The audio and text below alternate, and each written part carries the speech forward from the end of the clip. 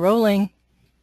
Hello, uh, attendees of the Jazz Journalists Association's monthly webinar. We've been having a little bit of technical difficulty. I hope that's not going to continue, but you never do know.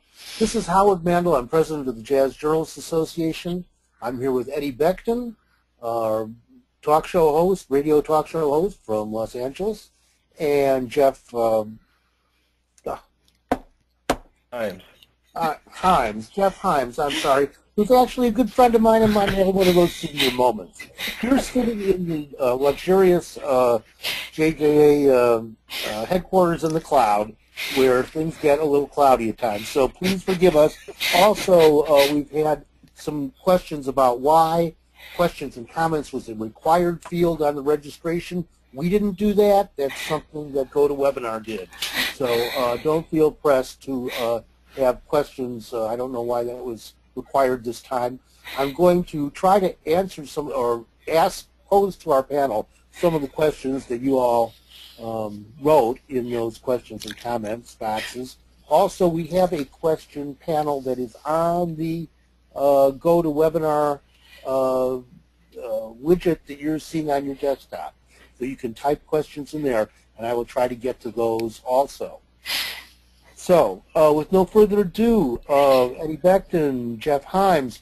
Eddie, let's start with you and just tell me a little bit about your background in interviewing and uh, what's entailed and where most of it's happened. Uh, a comment. First of all, thanks Howard for inviting me. Uh, a combination of in academia and in radio. Most of my academic experience is qualitative uh, research. So I've done a whole. I've literally done hundreds of structured interviews with uh, uh, research participants, and I've been a radio producer host uh, for the Jazz Journey for eight years. Uh, so I've been doing interviews on radio for that period of time, as well as print media. I was the co-founder of uh, all the, the print version of All About Jazz Los Angeles back in, I think, 2001 or so. So I have a considerable amount of experience with musicians and artists as well as the academic side, if you will.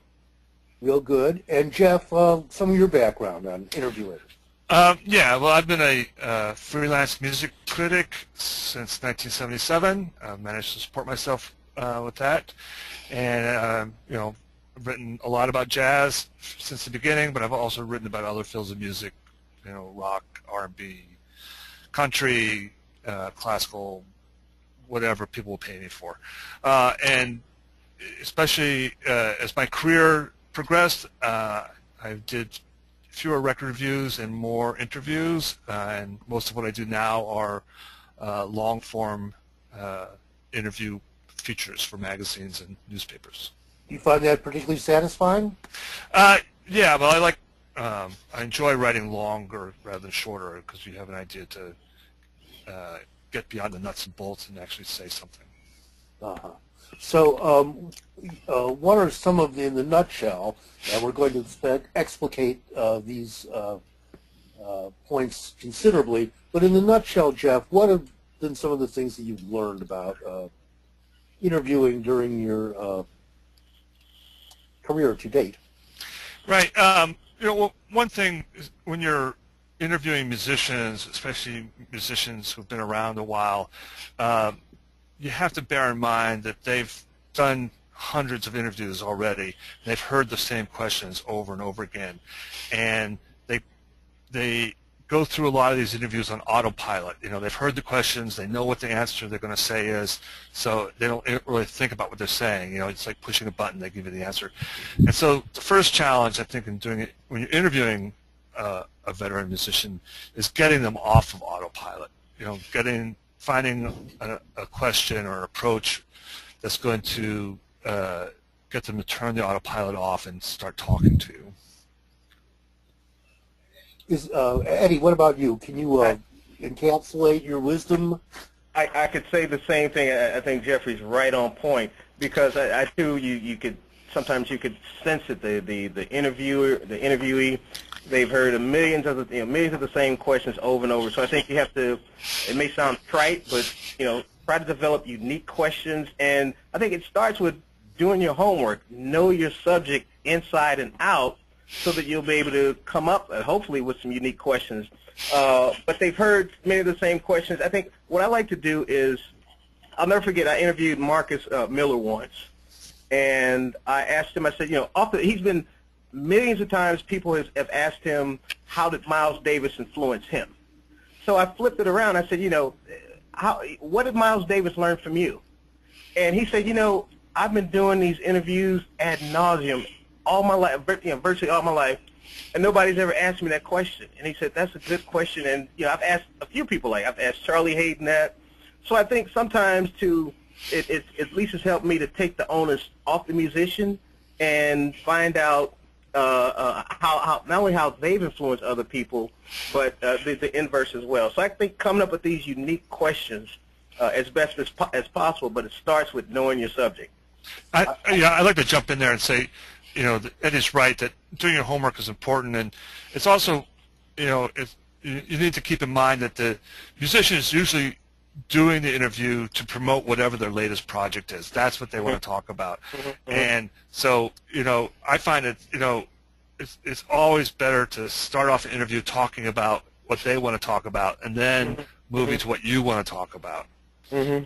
And, you know, if you, if you show that you, you're familiar with their latest project and, you know, that, that makes them feel like, oh, okay, well, maybe I'm spending my time usefully here. Right. I think that's a good point too, Jeffrey, because you know I I, I approach my interviews uh, as, as a giver in a sense that I'm not trying to take take take you know from. So I try to take you know bring something to the table, but I think Jeffrey's right on point there as well. Well, it sounds like both of you uh, often have uh, artists that you're interviewing because there are commercial uh, purposes immediately, and uh, they they are uh, uh, people who are steeped in the same interview process.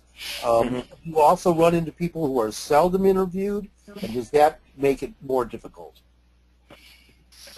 I interviewed uh, Ahmad Jamal at a period where he had, for my purposes, for our purposes, taken somewhat of a hiatus from interviewing, because frankly he was uh, he had a certain level of disdain for the people who were interviewing him, um, and that was probably one of the best interviews I've ever had in terms of. Uh, you know the, the the the mindset, what people thought he would be like, you know the information people would share with me, um, but it was it was a really really good interview because uh, I guess I, I- he said it was really respectful and he said he enjoyed it, and that's a to me that's a foundation too respecting your subjects and your subject space. Uh, but he'd had a hiatus and he said you know he put it all on the table. He said I haven't done this in a while, um, and I said look you know I'm here. You have to develop that trust. Right. That's critical. Uh, so that's why I try to give something that's not about okay, tell it, talk to me, talk to me, share this with the audience. I think having a sense of empathy helps. At least it helps me. It's also, you know, if you interview somebody who's like releasing their first record, some, you know, a, a new artist in, in that sense, uh, they they don't have the sort of jaded uh, feeling about interviews because they haven't, you know, answered a million questions already, uh, and so that, that's a that's a real plus for you as an interviewer, uh, in the sense that they're more likely to open up and say things, but at, at the same time they don't know how to do an interview, so you sort of have to take charge of the interview more firmly than you would of somebody who's done it a lot. Well, I one of the one of the stories that I've had that comes to mind is when I interviewed Sonny Criss, who was certainly a veteran musician, but was definitely not used to being interviewed, and he just had like really no, very little to say, and he was in a rather obviously depressed state, and you know just trying to pull out things from him. Uh, to, to demonstrate that I was really interested, I was genuinely interested in what he had to say. Uh, that went a long way. I also want to say that I asked that question that you mentioned, Eddie. I was interviewing Jimmy Heath about John Coltrane, Mm-hmm. and he, really did not in being he was not enjoying going through his John Coltrane stories. Right, right, right. I did ask him, well, how did you know you and how did you influence him? Not how did he influence you? Mm-hmm. And he was so happy to have me turn the, the, the attention back on Mhm. his computer as opposed to talking about trains. And I got Mhm. from him that way. But But you know, both of gents, uh, I think you, you've skipped over one of the vital uh, elements uh, that we have to do when we prepare to do interviews, and that is uh, get our equipment ready. And so Oh, I want to ask you about that part of it because it's so important to everybody. I uh, I'm, I'm kind of paranoid. I take the paranoid route. When I, I never forget the one of my favorite stories is when I was in graduate school. I did this uh, a series of structured interviews with a politician, and mind you, this was a politician who had 30 years experience. So you know, I, I- I cut my teeth with that, that those experiences. Uh, and I'll never forget one time I had a tape recorder, uh, and this was early in my, my my training. I had a tape recorder and the batteries ran out. And I had my notepad, but that taught me a lesson that, where I said I took the paranoid paranoid route. So, I mean, there, there hasn't been an interview since where I've had not had uh, probably at least two recorders, uh, and that depends, of course, if it's live. You know, my equipment that I use, but I use a nice little Sony digital recorder that's handheld, and it also connects to my computer. I can transcribe it really a lot easier. Uh, but I always keep those extra batteries. You, you can never, to me, you can never have enough equipment equipment when you're doing your interviews. Uh, is all of your equipment equally uh, high high standard? Yes, yes. I don't, I don't, com- when those type of things, I don't compromise on. Jeff, what's your experience that way? Well, I'm not techie, so I'm I try to you know I, I try to um, you know when I'm even when I'm recording stuff, I try to take notes um, because you can always check spelling. You know if I I know if I write things down that you know I'm not going to have to you know just you know worry about things uh, equipment going wrong or being able to hear mumbled words. You know if I'm writing it down, I know I've got it. You know, I Right, know right. nothing's going to go wrong. So. How's your handwriting? Uh, you know, I use a lot of shorthand. I've gotten pretty good at it. So Right. Uh-huh. I, I was going to add that too. If uh, you know, like I said, I take the paranoid route. I'll have the the the uh, recorders and a couple of notepads, ink pens, uh, and I learned shorthand. Fortunately, probably 30 years ago, and I still use that. So for those uh, interviews out there who are just starting out, I strongly recommend, and even for the seasoned ones, uh, to learn shorthand. That really helps me. Right. Yeah, I never took shorthand, but I, I've sort of invented my own system. That's you know, my- my system. right. And Right. uh, you know, it's also So that- you know having a notepad is also good because if you if you're interviewing somebody in person, especially uh, Mhm. being able to write down physical description of the person and the room and the situation, uh, Mhm. you know, what they're wearing, what they look like, you know, that's invaluable in doing it Right. when you're writing the interview up.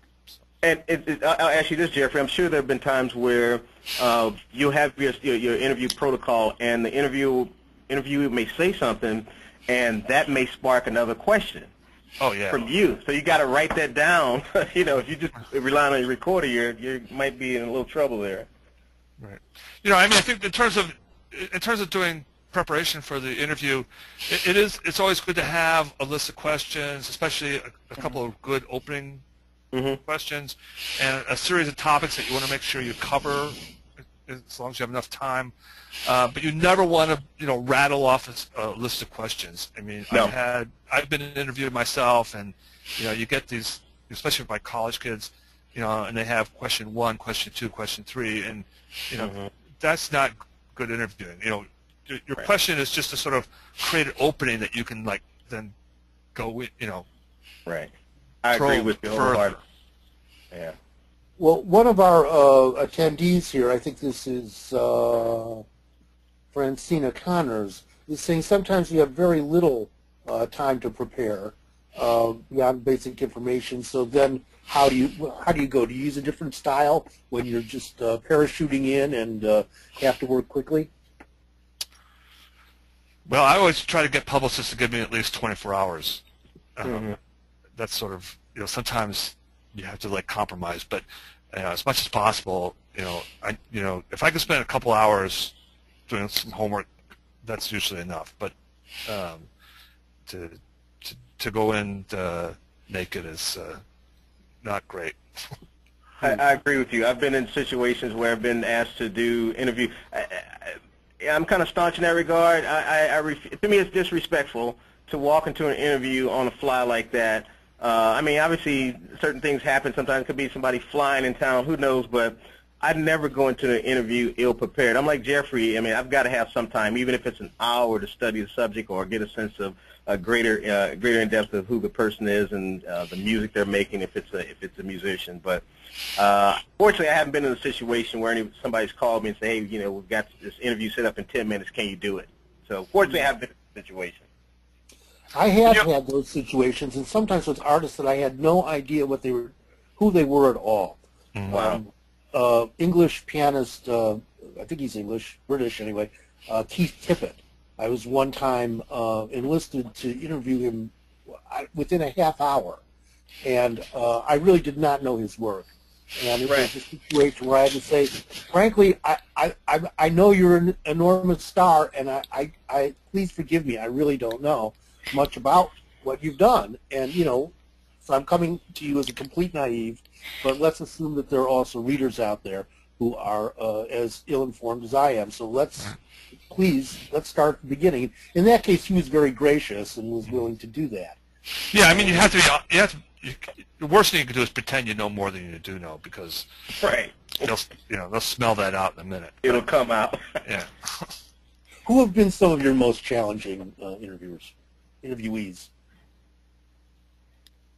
Jeff? I had a, oh, uh, you know, there's there's all kinds of people. You know, the worst thing is when somebody doesn't want to do the interview and their, their publicist sort of twisted their arm, and you know, I've had, especially in rock in the rock world, I've had that happen several times, and that's just unpleasant to, to sit through. Mm-hmm. Um, you know, other times, you know, I, did, I had sort of a famous interview with Freddie Hubbard towards the end of his career when he was, you know, not in great shape, and it was um, it was very poignant stuff, but it was it was uh, very challenging to sort of, you know. To, One of mine was with. Uh, excuse me for a minute, Eddie. It was challenging just to sit with him, Jeff, or it was challenging to get what you wanted, or what? Yeah, more to get what I wanted, and, and um, you know how to how to talk about you know where he was in his career in, in a way that was tactful. I interviewed Freddie around that time too. I think he knew me a little bit. Did he know you? Uh, not really. I mean, I had interviewed him before, but it had been a long time before. So. I mean, he did things like turn on the TV. He wanted to watch basketball. He wanted to talk about anything other than really, you know, what I assumed was the career information. That uh, sometimes I just try to wait them out. And if I spare, I mean, I think in that case I must have spent three or four hours with uh, Freddie. And he was a lonely guy at that point up in his hotel room, you know. Mm-hmm. He wanted to watch basketball. I, I was willing to watch with him for a while. I did have a couple other opportunities that week to talk to him, like in the recording studio. Mm. And, you know, that really brings the question to mind, what if you don't get what you need? How, what do you do to fulfill your assignment? And and do you go in with a sense of what you need, or are you willing to say, I'm going in, I'm going to see what I get, and then the story will be what I get? Yeah, I think that you know, I mean, I think you you have if you're if you're a music critic, you know, you have a perspective on the work, um, but at the same time, you have to be open to where the conversation goes. You know, you can't try to steer the conversation to a, a predetermined goal. You know, like if you want to talk about, you know, um, their equipment, and they don't want to talk about the equipment, then you got to find something else that you can talk about. Mm-hmm. You know. Eddie, I think I cut you off before when you had something to say. Oh, it, it was in reference to um, uh, uh, an artist whom I had on my show before, uh, Chuck Johnson. Uh, well known in the LA area, uh, has been doing it a number of years but uh, and just really initially it was really challenging because he to, to call him talkative is just he, that's just not his thing. So uh, so it took me a couple of minutes to recognize that uh, because it was his suggestion he wanted to come on my show. Uh, so I thought that you know when when people energetic and enthusiastic about coming on the show and take initiative, then I tend to think that they're gonna they're gonna have a lot to talk about, and it's a matter of me trying to uh, rein them in to get them to, to be quiet. Well, it was the opposite with him in that, you know, I'd ask him some questions and even open initially, some of the open-ended questions, he it was almost as if he tried to turn them into close-ended questions where he could just say no. And so I kind of I don't remember exactly what I did, but somehow I, I just incorporated the humor about how quiet and shy he was, and he laughed. And after that, it really opened it up. But initially, man, it was like pulling teeth getting stuff out of this guy. Mm-hmm, mm-hmm. But um, I think you, you have to find out. I mean, and that helps too.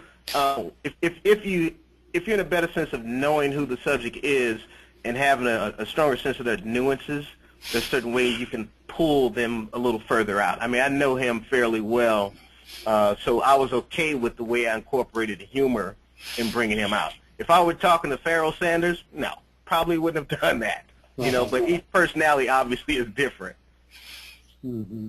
Mm-hmm. There's another story. It's like you know when I interviewed uh, John Boutté, who's a, a great jazz singer from New Orleans, and you know first thing I asked him is you know how did you know what was his experience with the, the with Katrina, and he immediately launched on this sort of like lecture about you know it wasn't Katrina, it was the failure of the levees, you know, and he went on this sort of rant, and, and mm. I actually I was able to use that to sort of open up a whole bunch mm-hmm. of feelings that he had about that whole experience. So, you know, uh, you know, if you're willing, you know, if they have like a sort of contrary streak to them, you can sometimes use that to like get a, a real sort of uh, lively conversation going. Mm-hmm, mm-hmm.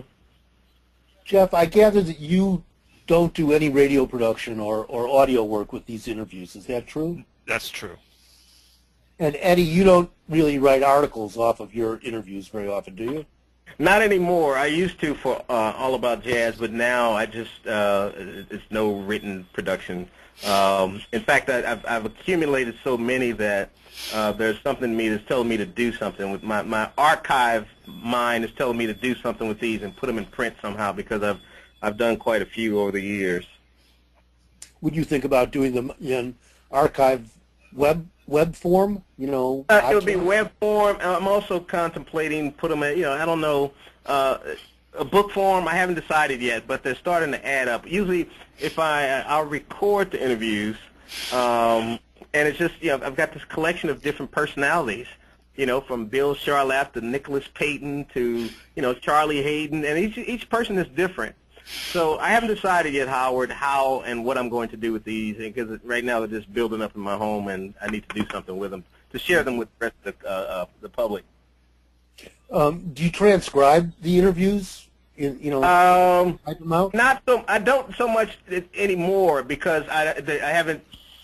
They don't. There's no outlet for them at this point. When I was with All About Jazz, I did transcribe them. Um, and you know, as I when I decide on what I'm going to do with the product I have now, I probably am just uh, going to enlist some uh, some students and um, give them some transcription, uh, some work for perhaps extra credit or something like that. Uh-huh. but you know, you know that that takes a lot of time, but that, that's no, no fun. Jeff, do you you you're writing notes as well as recording? What right. do you do when you get home? Do you type up your notes right away, or? Um, I, yeah, I try to, you know, um, you know, but you know, I keep everything. You know, I've I keep uh, files on on everybody I talk to, so that you know, sometimes you can reuse a quote as long as you identify it properly. Mm-hmm. Uh, I, I, I had a question, uh, basically to you, Jeff, but also to you, Howard, that, that touches on when you asked about equipment. I, I, I know that there's some voice recognition software out there. Have you tried any of that, Jeff? Uh, no. Okay. You, Howard? I haven't either. Okay. Um, All right. It, it, I get a it, lot of emails about, about, that. I just don't trust it like I trust myself. Well, you'd have to go over it. But one of the things yeah. about voice recognition software is that it gets used to your voice. Right, right, and right. it gets better the more you work with it. But if you were to introduce other people's voices, mm-hmm. and uh, I don't think that it would adjust well. Mm-hmm. Um, personally, I've I kind of like transcribing. I got to yeah. admit. Uh. I find that it really uh, reinforces for me what happened in the interview. Mm. And it gives me a very close feeling for the uh, vocal uh, stylings of mm-hmm. the interviewee. Mm-hmm. And I, I, find that very useful in creating articles. Um, right. And, and also, I do radio production also from some of these interviews. So mm-hmm uh, it's it's crucial for that. Right. Um, since I'm not doing those interviews live, and they're usually heavily edited. Mm-hmm. But but I- I'm thinking about what do you, what is your purpose when you go in to do the interview? Are you trying to capture a, a, a snapshot of this person? Are you trying to help them out by like exposing information about their new project? Jeff, that seemed to be what you were. Yeah, I, I think that you know, for me, I'm, I'm you know, I'm very clear myself about what my purpose is as a music journalist. You know, I'm not writing for the artist. I'm not writing for the record company. I'm not writing for my editor. I'm not writing for my advertisers. My sole primary, my primary purpose is for the reader. I'm trying Yay. to trying to create something that the you know non the non music biz, uh, Mhm. but you know sort of committed uh, lover of music will be interested. That will like tell them something they don't already know. Mm-hmm. That will like create you know a, a new way of you know uh, you know engaging with the music, and that, you know that's what I'm I'm there for. And you know I'm, I'm trying in, in a way I'm a surrogate for all those readers who would like to talk to you know Pat Metheny or Mhm. you know Jason Moran. That you know I can ask them questions that they might want to ask. I can you know try and get out information that they might want to get out. Mm-hmm.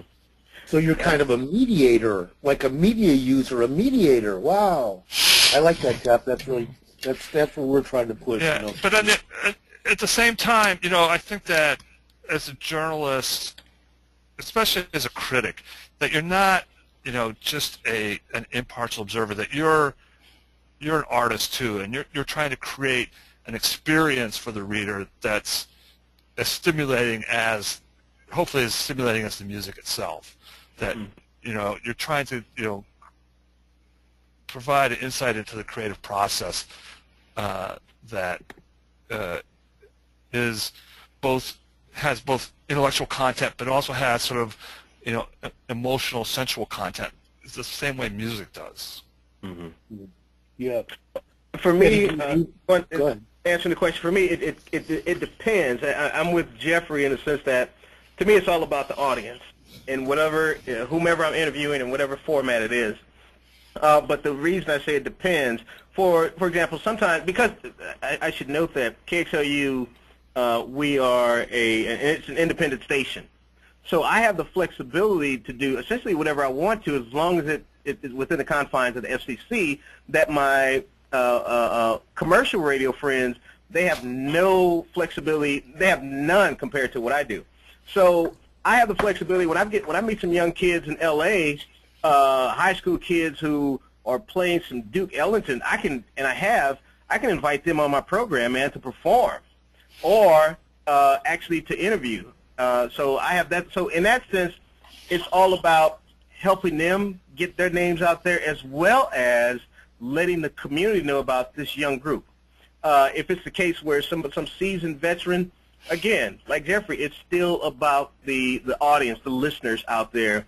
Uh, so I, I don't really navigate well if a publicist calls me and say, hey, uh, and really tries to influence me uh, or influence the interview.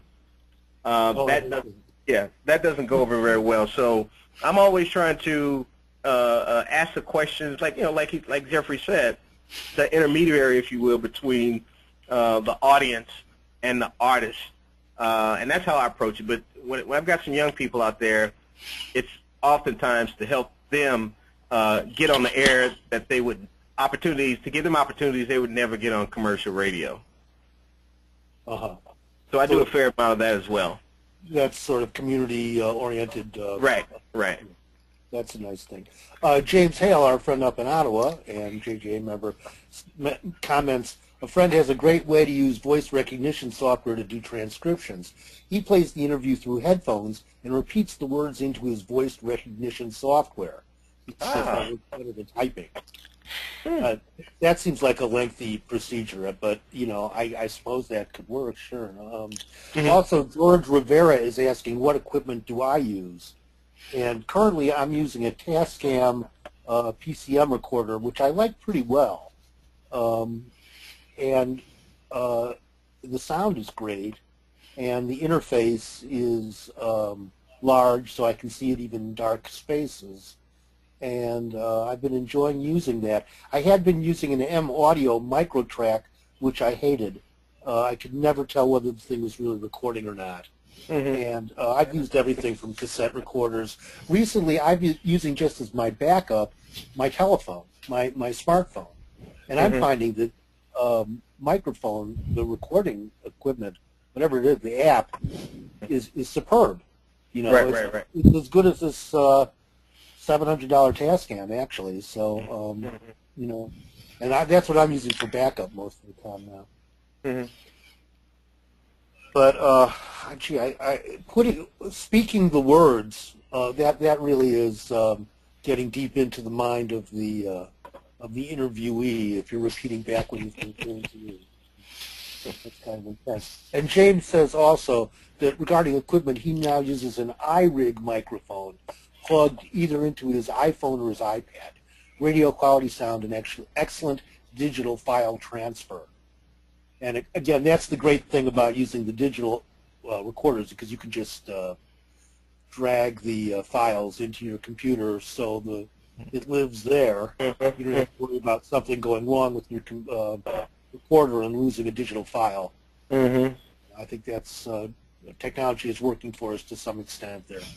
Right. But okay, so what about um, we've talked a little bit about the interviewee who is not talkative. Well, we've talked a little bit about the problem of the interviewee who talks too much. um, let's let's get a little deeper into this interviewee who tells the same stories you've read elsewhere. How do you how do you shake them up? What do you what do you do to get a new quote? Yeah, whenever somebody's, you know, somebody's like, you know, rattling off a cliche or making a vague statement, I say, you know, I try to say, well, what does that really mean? You know, when you say, you know, the, you know, I borrow from tradition, you know, who, you know, how, what, you know, you, you, know, it's like that's what I was trying to say earlier. Is that you know, you have a, a prepared question, but that's just a sort of opening, you know, and Mhm. when people are being vague or you know as musicians often are when they're talking about music, you know, you've got to, you have to push them to be more specific about exactly what they mean. hmm And then you can either, like sometimes I'll just say, uh, depending on how it's going, I may say, all right, uh, tell tell my audience something that, that, that they don't that they haven't read or heard yet. And every time I've done that, it actually worked. It's worked at least so far. and, it, and and the way the way it comes across is uh, kind of non-threatening, so they don't get pissed off and you know feel like I'm challenging them. You know, and I don't mind challenging them. Uh, but every time I've done it like that, uh, kind of in a lighthearted way, it seemed to work.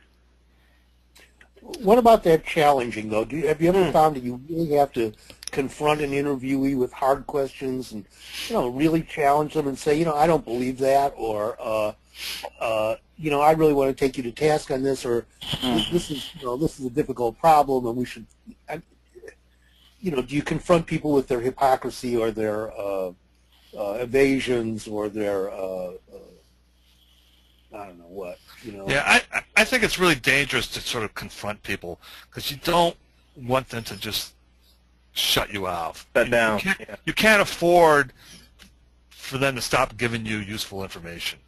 So you know you can say, well, you know, a lot of other people have said that you know this what you're what you're doing doesn't make sense. You know, how do you respond to those other people?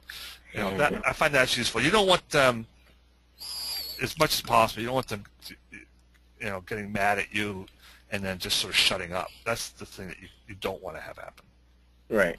Well, can can you build to that if you know that you're going to go there eventually in the uh, interview, so that you you get the basics out of the way, you get the Yeah, information, no, and you, d- dive in. it, you- you know, you, you know ahead of time what are going to be the, the difficult questions. You know, you know, what were you doing when you got caught in that crack house? You know, that's the kind of question you want to save to the end of the interview.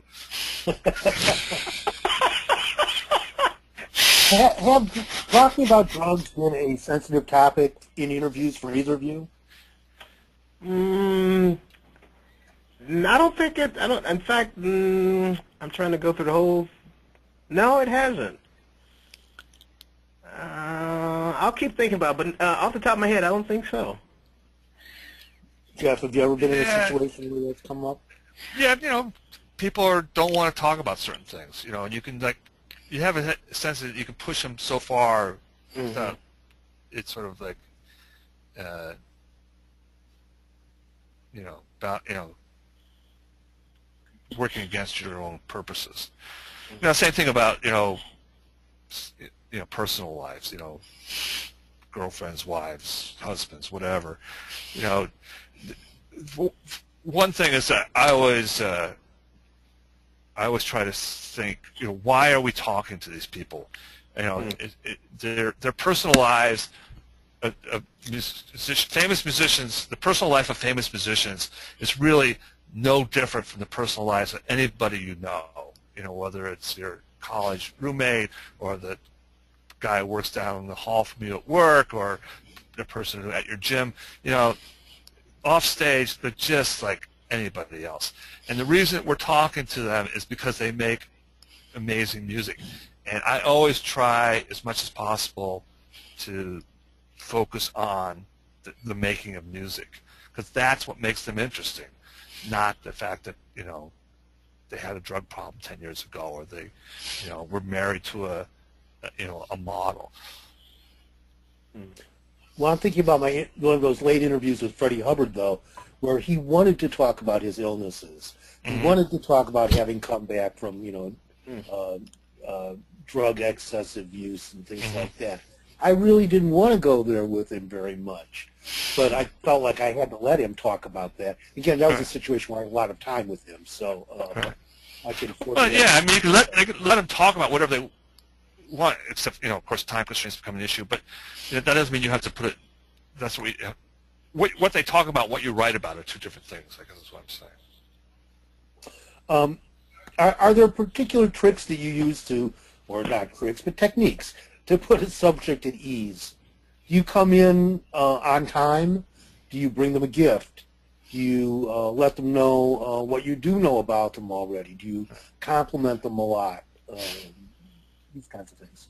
Um, I like to when I'm doing when, when somebody's actually in the studio actually comes to the studio. Uh, I like to, or not like to, but I do let them know or remind them I appreciate their time. Uh, so, like for example, I had uh, Ginny and Monica Mancini on uh, before, and they came to the studio. So when they came, uh, we really did it up. I had some a lot of refreshments for them, flowers. I mean, the whole shebang. So Michael White came on recently. I know he's a vegetarian. So I had all these beautiful, this beautiful vegetarian dish and pomegranate water, the whole thing. Uh, so I like to, to, to remind, and I'll give them some KXLU goods, that type of thing. So I like to remind people that I appreciate the time uh, that they that they're taking out, even if it's a an interview over the telephone in another city. I always try to uh, give them something. Uh, in terms of when they come in, uh, we'll do a walkthrough sometimes through the studios to kind of get them to relax, but I rarely just let somebody come right in and go right to the booth and start talking. Uh, to me, it's important to let to give people some time to get in the moment and in the space and get into relax. So I don't, I'd never just start firing off questions. How was your day? How was the trip over here? You know, just some things to get them to kind of get in the mood. Do you pre-interview people at all? Do you say this is what I'm going to be talking about, and these are a couple of the questions I have, and you do that? Always. I I don't think I've in in eight years, at least on the radio, in eight years, I don't think I've ever done that. Uh, I've had people try to ask me, uh, "What are you going to ask me?" I always tell them, and, and this is this is absolutely true. Uh, to a certain extent, I like to keep the interview organic. So I may write down, you know, just a handful of questions, but sometimes I never get to those. I like the interviews to just come out organically, which that's different from if I now when I was doing print, then I would have more you know more structure, if it will, uh, if you will. But um, I, I never tell people in advance what I'm going to ask them. I don't think I've ever been. I've been asked a few times, but I always tell them, you know, we're just going to let it flow, even though I have an idea of what I'm going to get at. Jeff, you find that uh, publicists Good.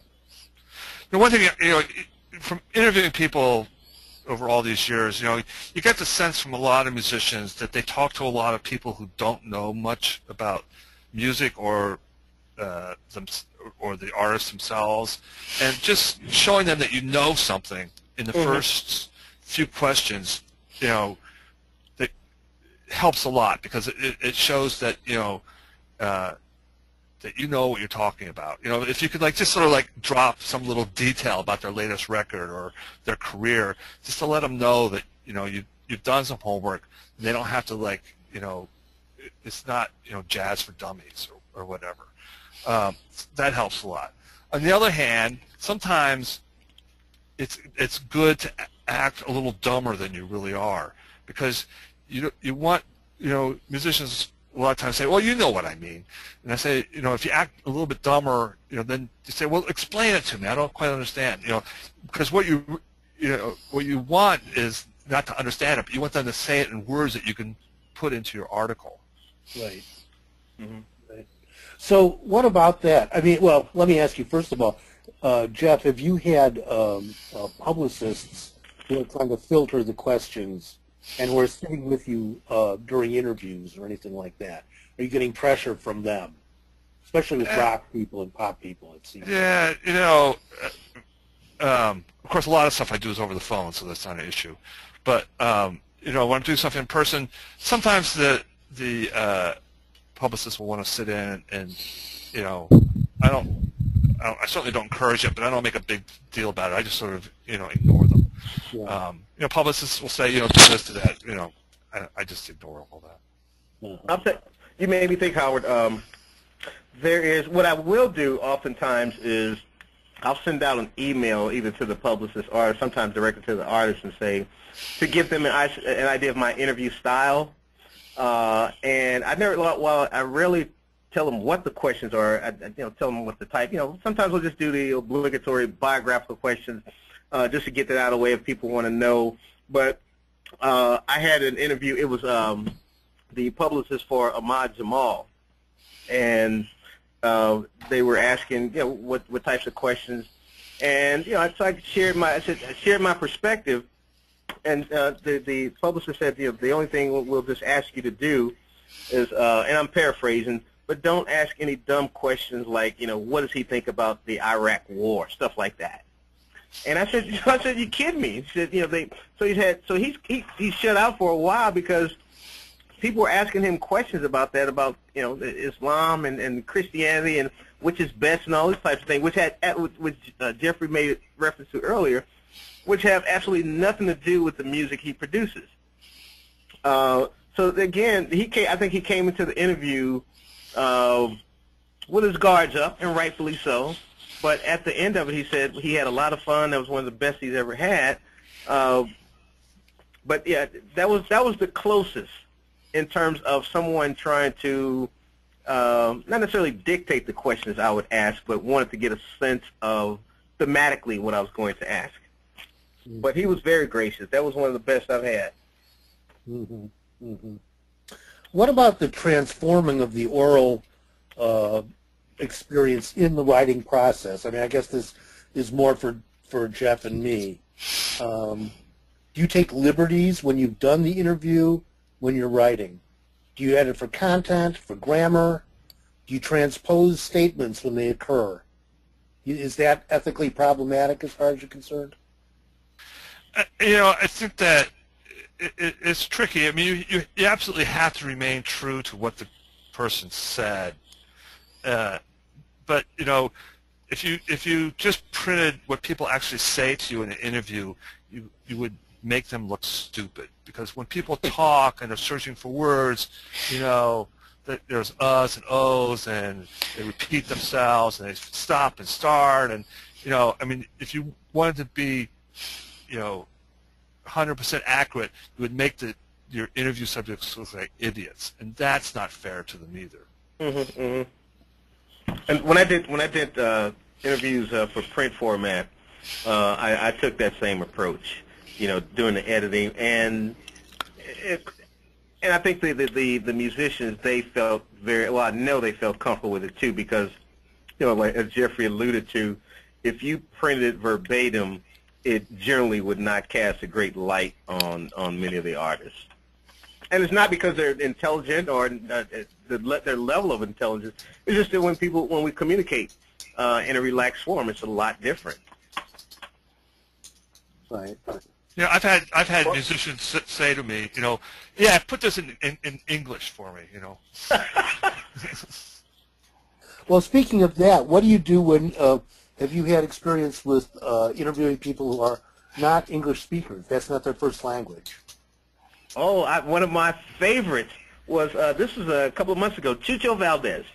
He speaks no English, Uh, and um, I had an interpreter, a friend of mine. She's actually from Cuba, uh, uh, Havana Carbo. She's out on the East Coast, and she interpreted, uh, did the interpretation for us, uh, and we had a ball. And going back to some of the points we made earlier, in terms of making the interviewers feel comfortable. So I asked him, I said, you know, you come from a family of, of iconic musicians. Uh, what might your life look like were you not a musician? I know it's hard for you to imagine that, but what might you, you know, what, what, how might the, the, the direction of your life uh, uh, change in any way? And you know, he, Chucho has this thunderous laugh, and he you know bursts out like Geoffrey Holder. He says, uh, so the interpreter starts laughing. And I said, okay, what did he say? What did he say? And he said that he would have been a prize fighter, and he would have been so good that he would have beat up Muhammad Ali. Right? so we all started laughing. I said, please. So then I say, well, tell him that I'm glad that he became a pianist. Uh, so now we have him and we have Muhammad Ali instead of the other. And so he interpreted back there, and then he burst into this. So that was so much fun. Uh, I interviewed another uh, a guy, Igor Butman, who was a saxophone player from Moscow. Right. Uh, that one was kind of semi-challenging. His, his English, like sometimes uh, we had an interpreter there to help out a little bit, but it turned out to generally uh, to, to work out okay. But he had a strong Russian accent. But it was he spoke just enough English. It was I think it was right at that threshold where the listeners were able to understand. But uh, but periodically we'd have a, a person alongside to kind of help out and, and, and translate for us.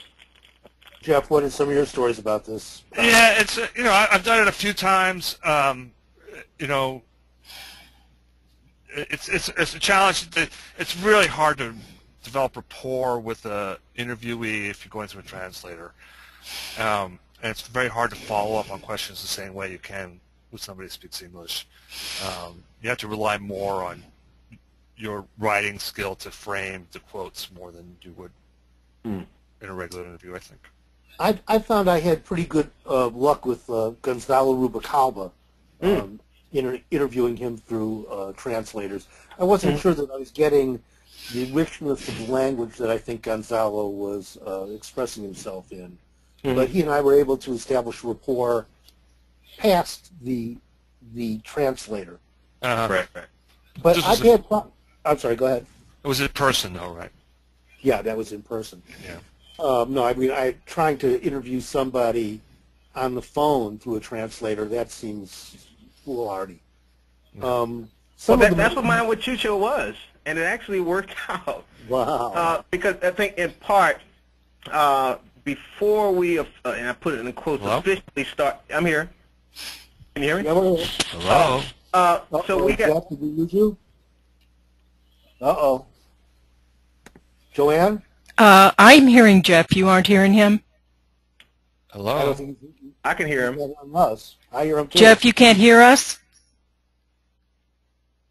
he's not hearing us. Oh, dear.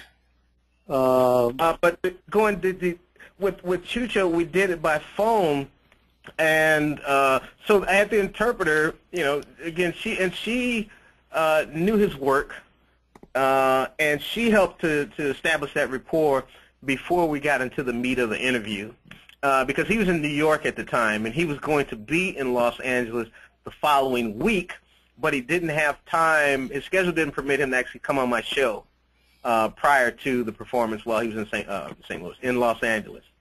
But it actually worked out very well. I wouldn't necessarily recommend that, but I think that uh, with his persona, and I think the, the, the interpreter I had, who's an excellent interpreter, I think those things help. But generally, I would not necessarily recommend that unless you've got a really, really good interpreter, and your interpreter uh, has a strong understanding of the subject uh, and the subject's music or you know uh, art art form, whatever he or she may uh, indulge.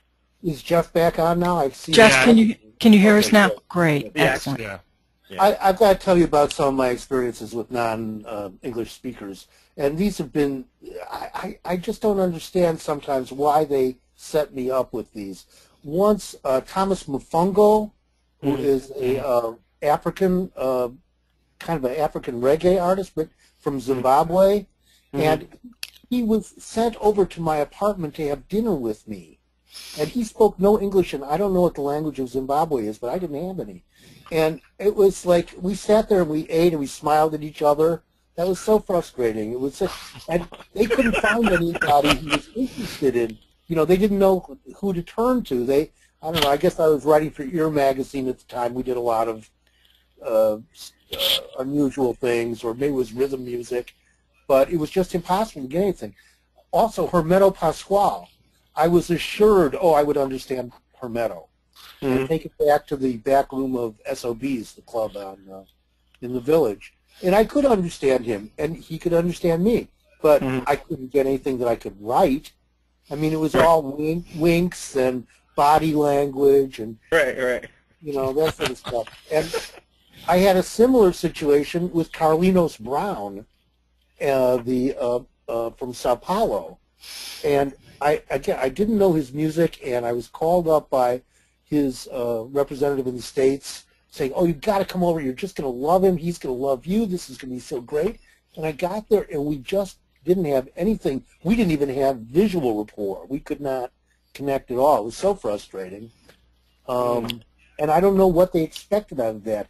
In the case of the Hermeto interview, that was a fairly short piece for Downbeat, and I ended up mostly writing about his show and describing that as opposed to trying to make it into an interview. Mhm. Not You, about, not Howard, about you- Spigolas or something like that, too. Howard, do you ever do interview people without an assignment? Yeah. Very often. And if I'm interested thinking- in If I'm just interested in it. Uh-huh. and um, I mean, I uh, and and realize I have a rare opportunity. Uh, also, now I'll try to do that using a video camera if possible. Mm. Uh-huh. And uh, I like using video cameras on interviews. Um, uh, there's some problems with that because you ha- again you have to watch your equipment to make sure that it's running, and you can't be focused on the equipment. You have to keep your eyes on who you're Right. talking to. Right. Um, but if you want to get anything that's usable video-wise, kind of out of the side of your eye, you have to keep your eye on the screen also. So that, that can get Mhm. tricky. Mhm. I, wa- I want to invite our uh, uh, attendees, of whom it looks like there are about 30, to uh, ask questions if they want to uh, by typing into the question box. And, uh, you know, we will try to answer anything that you come up with. Um, some of the other difficult interviewees, um, I've got to say Cecil Taylor was one of the most challenging, very difficult to tie down, uh, uh, frequently rescheduling interviews. I was going directly to him, which I much prefer to do. I'd rather get the publicist out of the way, or in Mhm. Cecil's case, usually there's somebody who claims they're his manager. And there is no managing Cecil Taylor, so it's really, it's, Mhm. uh, So the, was the difficult part actually connecting, or the interview? How how was the interview? Um, the whole thing was problematic. Um, Okay. when when I got to the place finally that I was pretty convinced he would show up at, he Mhm. brought along uh, two musicians he'd been working with a lot, Hmm. which was it was Dominic Duval and uh, Jackson Krall, the drummer. Mhm. Mhm. And um, I knew that that was not Downbeat's plan. And Hmm. uh, yeah, you know, Cecil said, "Well, uh, these gentlemen have been working with me, and I think they're extremely important, and I think you should listen to what they have to say." Mhm. And uh, I knew both of them a little bit, you know, just from being around. And Jackson knew that he was that he did not want to get in the way of any interview here. Right, right. Dominic, Dominic wanted to kind of facilitate things, so that wasn't bad. But we were Mhm. also at a restaurant, and I think that restaurants are the worst places that you can do interviews, Mhm. Mhm. especially if you're trying to tape. The clatter is terrible. Transcribing them is going to be a headache. Then you can be bound and sure that the waiter or waitress is going to be intrusive. Mhm. You know, just when you're getting uh, in the in the rhythm of things, they're going to come up and ask if you want another glass of this or something. That's really problematic. and um, it, there's so many distractions, and Yeah. it's very difficult to get people to focus. Also, you don't dare eat, you know, and if Right. they're eating, that's that's a problem, you know. So I, I hate doing them there. But we went to do this at a restaurant that Cecil had chosen. He ordered expensive food. He smoked an entire pack of cigarettes and put the cigarettes out in the food. Um, my equipment broke. I had to basically take notes, but even taking notes was difficult, so I had to use my brain and just Mhm. try to remember everything. And when I got back to my apartment, which was at that time only a couple blocks away, I was able to just pour it all out, you know, in, in longhand, Right. and so I was able to satisfy it that way. But Wow. um, and and uh, you know, I think it was a good interview. It's in my book.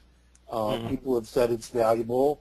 Um, Cecil himself is very discursive when he talks, Mhm. so uh, he would not really talk about technical things. He kind of turned himself on and just went, and with was a stream of consciousness with lots of uh, uh, references that I could follow because I, you know, know a little bit of something about um, American musical history, and he was referring to people from the 30s and Right. you know, previous set. So I don't know. That was that was troublesome. That was I think the second or third time I'd interviewed him, so he did know who I was vaguely, Right. Mhm. and that helped. Um, interviewing Ornette also has always been tricky Ornette says such wonderful things, but it's like a Zen koan. You know, he bursts Mhm. them on your forehead, and you feel enlightened, and then you wonder what was that he said. And even if you go back to the words, and also the first time I interviewed Ornette for Downbeat, this was in '78. Uh, we were up at the Artist House studio um, offices in New York. I'd come in from Chicago, and I was close miking him, and he didn't really like that. But we sat there for two and a half hours, inches from each other. I was so determined to get every word. yeah. When we finished, Ornette turned to me and said, well, see, Howard, you could have just made this all up. You didn't have to talk to me. And I said, oh, I said, Ornette, no way could I have, cut- you know. But then when I went back to transcribe it, I found that almost every sentence he said was a zigzag. And I couldn't tell whether he was affirming something or denying it within the same sentence. He might be doing both. Mhm. And it was just linguistically, I had to decide. I basically did have to make up, well, what is he saying here? I think this is the point. This whole interpretive element that, that Right. you know, required me. Uh, he and I were able to establish some nice rapport, you know, over the years, and I love him. Just great. But um, I, I, I've got to tell you, I can't help myself. When we were in Portland, Oregon, I was doing a live interview with Ornette um, in front of the audience, in front of the theater audience. And uh, Denardo was on the stage also, uh, Ornette's son. And Ornette said at one point, you know, Howard, the problem with language is that we don't really use the letters in language. And I said, oh, I see. and Ornette looked at and said, that was a good one, Howard. That was a good one. So that was fun. But um, what what kind of follow up do you do you do? I want to ask. What do you what do you come up with uh, after? You, you reach back to them. Uh, Uh, on- only if ahead, I'm missing. Hello? go ahead. Yeah, I only go back if I'm, I'm missing something or if I'm unsure about some fact, um, or if I got cut off in the middle of the interview. Sometimes, you know, you only get you have a good conversation going, and you know, but you know, 45 minutes or 60 minutes go by, and they have to talk, do their next interview, and then sometimes I'll ask, well, can we like, you know, continue this on the phone sometime? So I'll do that sometimes. A lot of you know downbeat jazz times uh, and some other magazines, they want you to have uh, secondary interviews in addition to the primary subject, which is actually a, a useful subject, uh, a useful exercise to you know talk to musicians that they're collaborating with in one way or another, because it gives you different voices in the story, gives you different perspectives, and um, uh, you know it allows you to, to create you know um, even if you know the interviews are done at, at very different times, different places, you know, it allows you to create a dialogue, conversation within the article itself. Mm-hmm. And for me, since mine is uh, uh, broadcast, my follow-up is different, and my follow-up is essentially, you know, thank you notes or follow-up emails. So I don't, I don't have the type of follow-up to, you know, can you expound on a question we asked earlier? Um, so it's a different type of follow-up, but Well, I think that's polite and friendly, you know, to to contact them afterwards. I don't always do it, I must say, Mm. but I feel like I've made a relationship with somebody if I've done a good interview with them, Uh, and I hope that they'll let me interview them again at some point. Uh, George Rivera asks, have, have any of us had experience conducting an interview and recording it via FaceTime or Skype? I haven't done that. I haven't done I that yet. haven't done that. I haven't done that. Okay. Um, uh, w- would you consider it? Do you think that would be useful to do it on Skype? Actually, someone I, I don't remember who it is, but I just got an email message. Uh, uh, I think on Saturday or Sunday. I don't remember, uh, but somebody broached that idea. Um, but I'll, I'll consider it. I have Skype before, but not for an interview, so uh, it's something I'll consider. Uh-huh. Uh, Marty Kasdan, who's uh, from Louisville, said he's come in late, so he's apologized if he's if we've covered this a little bit. I think we have sort of referred to it, but let's go through it again. Thoughts from the panel about asking an artist his or her background, even when you, the interviewer, know the background. He says that he likes to get the artist to briefly say a few words for the quotes in his piece about, you know, where they came from, I suppose, or, you know, very much background information, basics. if it's someone for me on the radio, if it's if it's someone who's you know been around 30, 40 years, I will um, refer the listeners to the website. If it's and but you know so when I'm reading, if you will, my subject, I'll get a sense of where they are if they feel if they're already feeling comfortable. So I may say something, you know, give give us a brief, uh, give us some some quick biographical information. Tell us where you, you know, where you're from, why you chose your particular instrument, and move on. But if I'm really pressed for time, I'll say, you know, uh, I'll, I'll, I'll refer people, or I'll ask the uh, the the artist will refer the listeners to the website where that information is. But I try to focus on things that uh, that that that you can't that that are not on the website. Uh, You know, I, I try not to ask questions that that are e- that, that the that the uh, that the artist could could easily answer on the website. Yeah, I think that Um, this is also, a, you know, uh, an aspect of being prepared for the interview. I mean, you you don't need to ask sort of the the basic Wikipedia kind of questions. You know, Right. you have to. The interviewee should assume that you already know that stuff. You could ask, you know, you don't need to ask, you know, where did you grow up, but you could say, well, you know, did it make a difference to grow up in Detroit instead of Chicago? And did that affect the kind of music you play? That's a valid question. And, mm-hmm. and then when you write the story, of course, it depends on what kind of story it is. If it's like a 700-word thing on their latest album tour, you know, you don't have to recapitulate their career. But if you're doing a 3,000-word magazine feature, you, you know, your responsibility as a journalist is to Mm-hmm. at least, you know, create the basics. So you, you can't assume the reader Right. uh, knows everything. You know, you have to like uh, help you know help the reader out without you know allowing it to eat up too much of the the article. Do you do you feel like uh, that interviews have an element of seduction to them? Uh, you know, yeah. I mean, it, seduction is a loaded word, but you know, you you are trying to develop a sense of of intimacy, so that they'll open up and talk some things. I I often feel like. Uh, you know, it, after you come out of a good interview, you know, like you've been able to talk to somebody for two hours in depth, you know, sometimes it feels like a, a therapy session. Sometimes you get the feeling that artists, you know, want to talk about the creative process, but don't get a lot of opportunities to because, you know, Mhm. when, you, when you're with your band backstage, you know, at uh, the Village Vanguard or whatever, you know, you're not going to talk about your creative process. You're going to talk about, you know, your new car or you know how the Knicks are doing or whatever. Um, but so th- this chance to like to delve into some of these issues of the creative process is for the sort for the right artist at the right time. It's it's a very welcome thing, and they they'll sort of like it's a catharsis almost. You have this sort of like intense two-hour thing, and you feel like oh you know we're really close friends. Well, you're not really close friends, you know, in the same way that a therapist and a patient's not aren't really close friends. But you've had this, uh, you know, this moment. You know, I, I had a connection uh, to and with Carmen, vocalist Carmen Lundy, like that.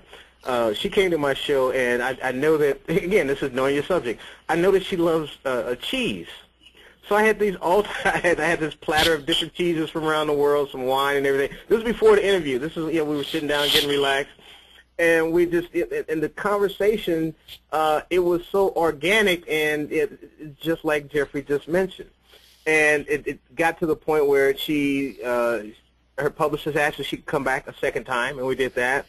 Uh, long story short, out of that, out of those interviews, like this kind of this friendship type of developed, you know. And she invited me to her holiday parties and uh, had given me because she's also a visual artist uh, as well, and uh, gave me like a signature painting of hers. So I think that when you to me, it's like cultivating these relationships. Uh, yes, you do. You, you know, you're doing the interviews, but oftentimes what I found it is like this catharsis in the sense that, you know, I'll be, I'll have a certain list of questions sometimes, but out of that, it'll be pretty obvious that hey, this interviewer, this subject, you know, really wants to get something off of her or his chest.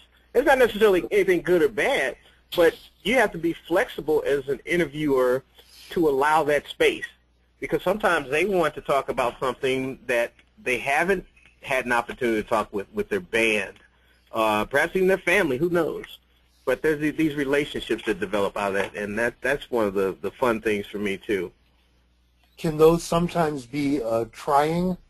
I mean, I, I have a couple of people who um, uh, have been very responsive to my interviews, Uh, and they keep me on their books as somebody they always want to talk to, and always Mm. expect you know my ear to be available for them.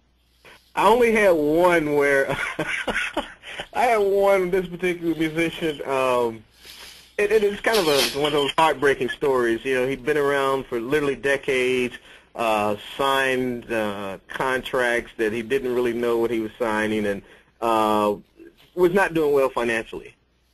And you know, we he had been. Uh, let me just say this.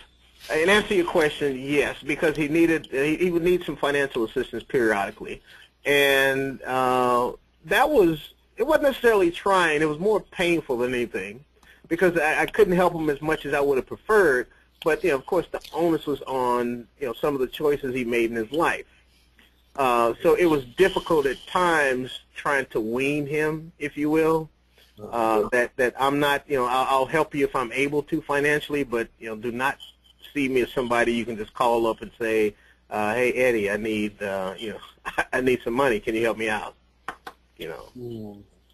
I had a musician who, after I interviewed him in my living room, and uh, my daughter was very young at the time, and it was Friday, and I had to pay off both of our babysitters, and he saw me do that, and then he asked me for sixty bucks, Mm-hmm. Mm-hmm. and that was that was kind of awkward. Mm-hmm. Uh, no, you know, I just cleaned out the babysitters. If you you can take care of Yeah. those next week, baby. Um, there's a question here from uh, Brett Delmage, and I think he's going to have to explicate a little bit. I'll read it, and then we can go to the next uh, comment, and maybe Brett can fill this in. But he's asking us any familiarity with or comments on John Sawatsky's interviewing techniques for difficult interviews. And then he gives us a link, a, ESPN uh, link to a column. I, I don't know John Sawatsky, and I don't know what his interviewing techniques are. Eddie or Jeff, you? I don't either. I'm sorry. Yeah, that name doesn't mean anything to me. So Brett, if you can like fill this in a little bit, uh, we can maybe get to that, and I'll ask the or uh, the next comment while we're waiting to see if Brett does that. This is from DL, and he says Skype can be very useful for interviews, and I recommend interviews expa- interviewers expand their reach as far as possible. There are a lot of tools out there that allow you to record both audio and video at very high quality connection willing. When I was a broadcaster at a station in the middle of nowhere in the British countryside, Skype gave me access to people like David Sanborn, Walter Beasley, and Robert Glasper from thousands of miles away. hmm So that probably is true. You know, it does. Yeah. Uh, Oh yeah, I've just you know, like I said, I've been approached to do it uh, just you know within a, a few days ago, uh, but I just haven't done it yet. But I'm certainly receptive to it because it can help. If Skype works properly, it's just like a phone interview. Mm-hmm. So Yeah.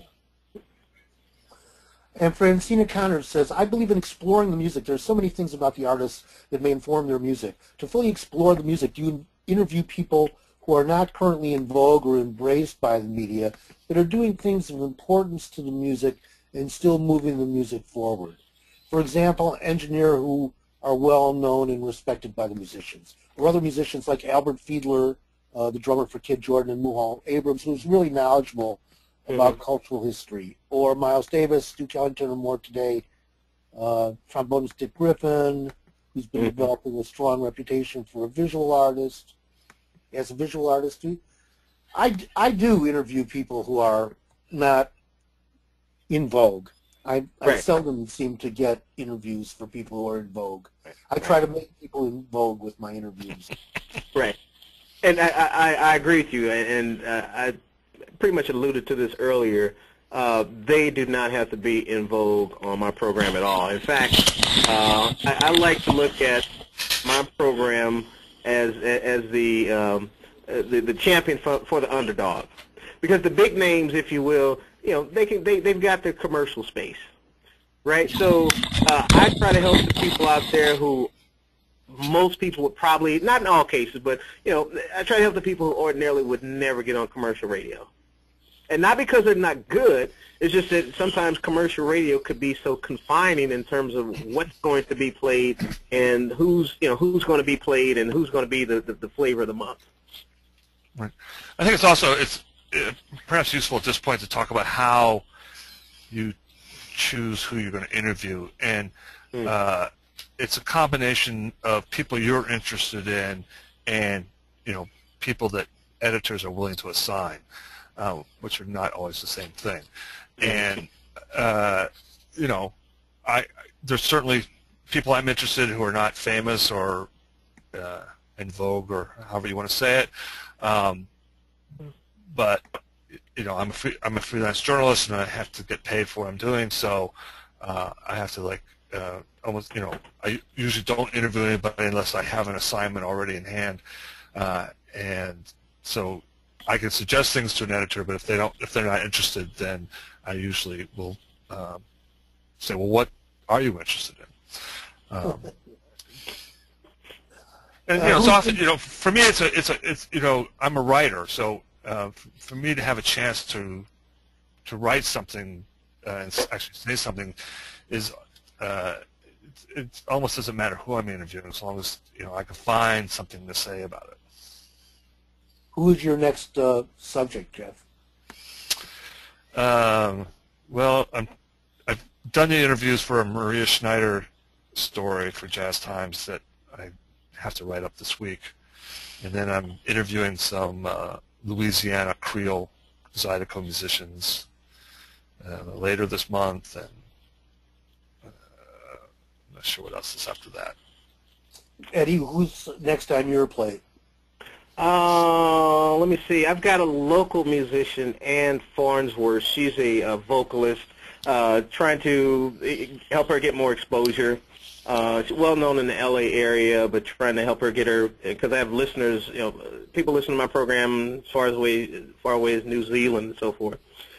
Uh, that's the most uh, current one. We've been John Beasley uh, and, and Ndugu Chancler, they were supposed to be on a couple of weeks ago because they're promoting a new CD. Uh, so we had to reschedule that because they had some um, schedule problems. And that's it that immediately comes to mind.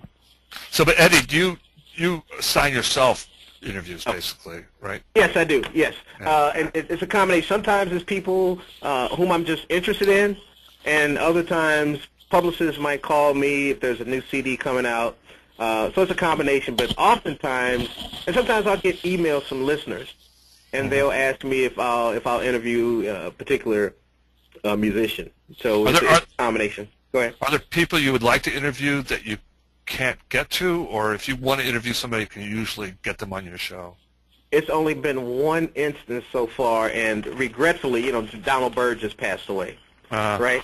Well, I use his, it, it, uh, "Flight Time" is my theme song, Uh-huh. and I had I just asked the wrong people, but I, I really, really want to interview him uh, because I've listened to his music since I was a kid, and plus Right. I use his theme, uh, his song for my uh, theme, and I think that, I think Jeffrey, that's the only one. Everybody else I've been able to get connected to in one form or another.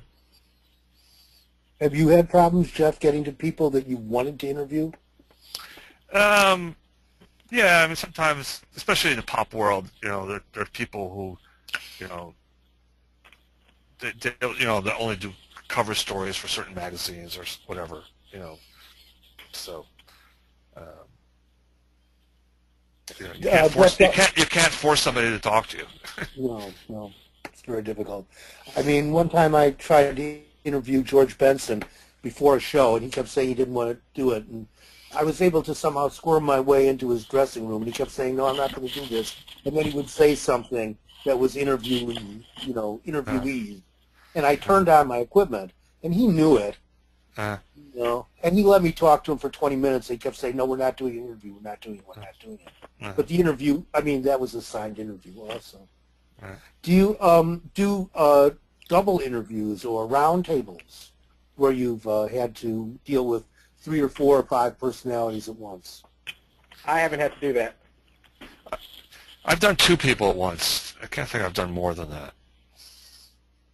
And do any of the artists use your interviews after they're completed and published or on the air, in Eddie's case, for their own Uh, publicity purposes?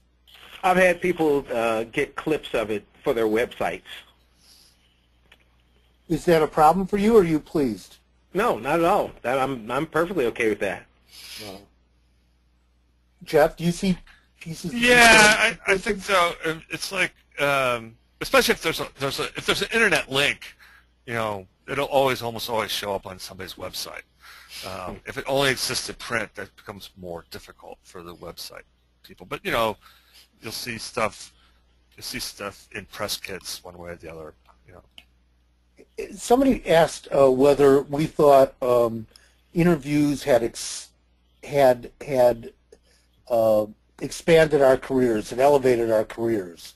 In what way that had happened, and we've been able to take advantage of certain interviews that we did in order to uh, uh, progress ourselves. You want to take that on? You mean a particular interview or just interviews in general? Uh, this wasn't really stipulated in the question, Uh, but answer any way you want. I think Jeff's case, Jeffrey's case, is probably different from mine in that, you know, this is his his, his full time gig, so to speak. In my case, uh, I'm actually teasing out some of these issues right now so that I can transfer uh, transform some of these interviews, like I said earlier, into perhaps a certain uh, a text or a website, uh, so that I could begin to generate income from these. Because not right, you know, right now it- it's not my full time work. Uh, it's something I love doing, and it just happens to fit in with my schedule.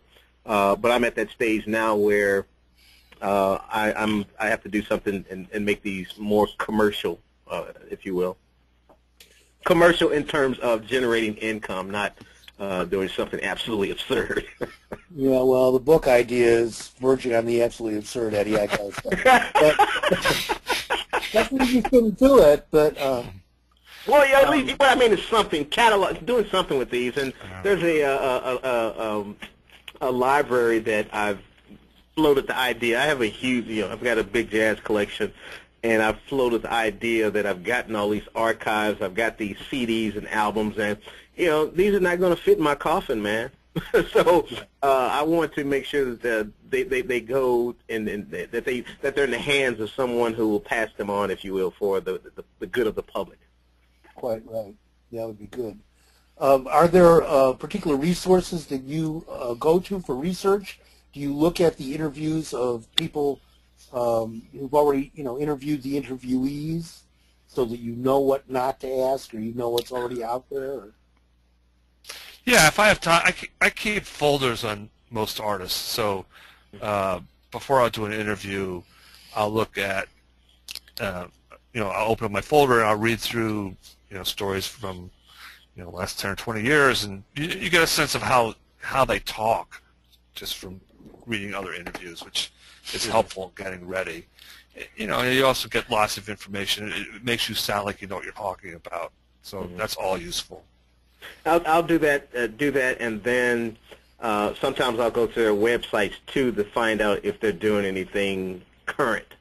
Right. You know, because I keep a file, like Jeffrey said, I'll keep a file of what's been done over the years.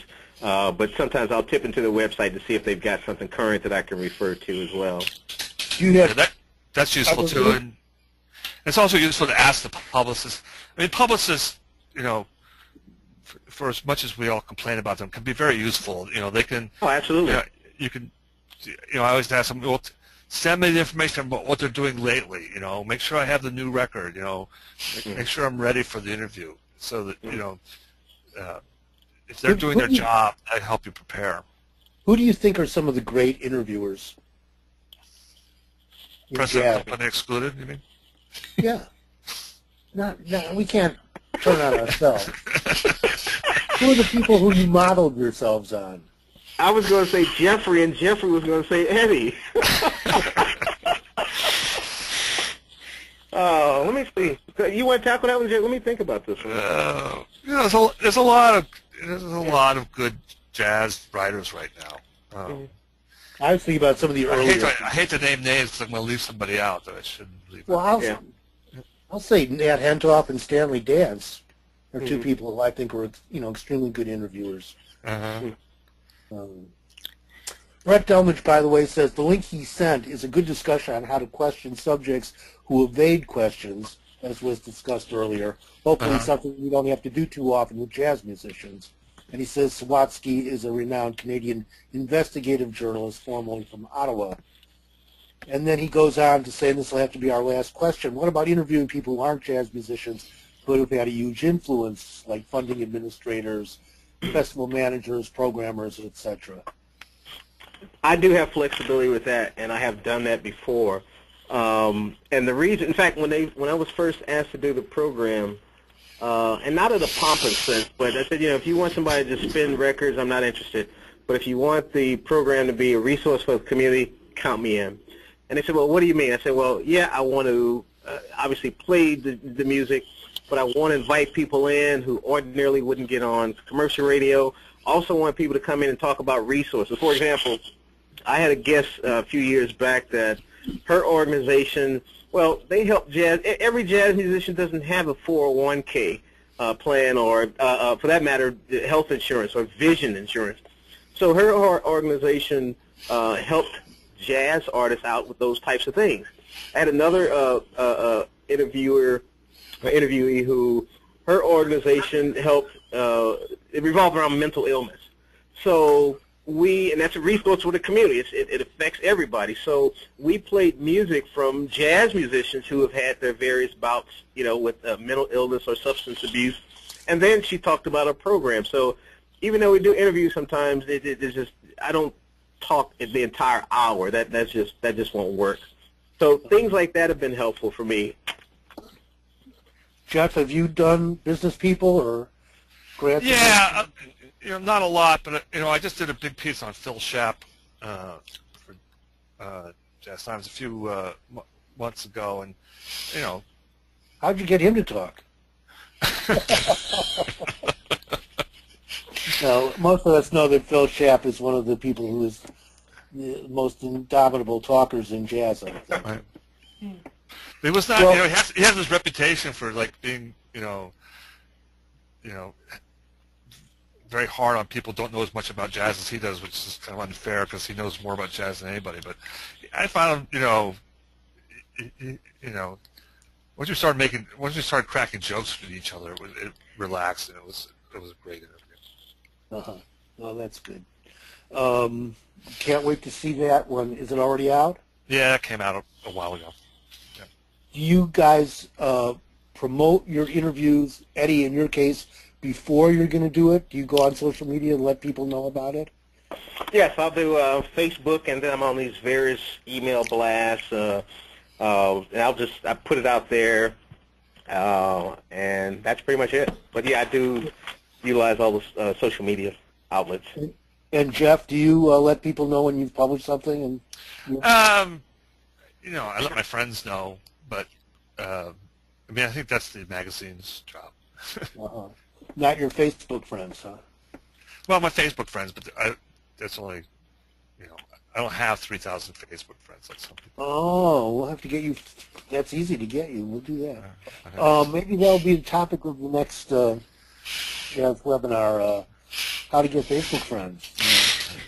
Um, anyway, we're at the time, the allotted time to sign off on this, and thank you for letting me interview you two guys to, today. Eddie Becton, Pleasure. Jeff Himes, uh, it's been a pleasure, and uh, the Jazz Journalists Association is working next on a huge uh, media campaign to raise profile of International Jazz Day and uh, um, Jazz Appreciation Month by virtue of the kinds of activities that are going on in local communities. So we want local people, you all who are listening, attending this webinar, to think about ways in which you can turn media on to the things going on around you, especially during April and leading up to Jazz Appreciation Day on April 30th. Uh, you'll all be getting emails about this uh, campaign from the JJA. Hopefully you'll take a good look at them. Um, if you want information about the Jazz Journalists Association, which you don't know much about, uh, go to jjanews.org, and uh, that's sort of our public face. Of course, we love people to join the Jazz Journalists Association. And I think um, next month, I think we're going to actually have our um, webinar about how uh, musicians and record reviewers are interacting over uh, digital downloads, if that's a good way to get people um, music better than hard copy or worse. Mm. Uh, that that's that's Jason Hwang, the violinist, is working with me on that, and we should have some more information about that soon. So again, I want to thank Eddie Becton. I want to thank Jeff Himes, um, Howard Mandel. We want to thank Joanne Kaywell, who's been behind the scenes working on the uh, technical element of this, and thank all of you attendees. And we hope we see you uh, in the cloud or online uh, Jazz Journalists Association events in the future. Thanks for checking in. Good night, everybody. Thanks, Howard. Thanks, Howard. Nice to meet you, Thanks, Ed. Jeffrey. Bye. Thanks, Joanne. Bye-bye. Bye.